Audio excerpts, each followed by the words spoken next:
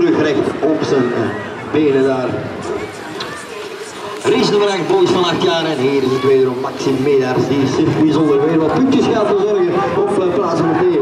Op volgende plek. Ja, Vissenagers gaan we kijken naar de derde plaats, want daar wordt nog strijd geleverd. Wordt het van Keerbergen over PFC Cycling. Keerbergen heeft dat die beste papier in handen richting uh, finishlijn. Nog steeds uh, Keerbergen op de ring op tweede plaats. Daar vinden we als. Maar de winst die gaat er voetbal zeker aan Maxim Medaars. Al wat hij heeft doen is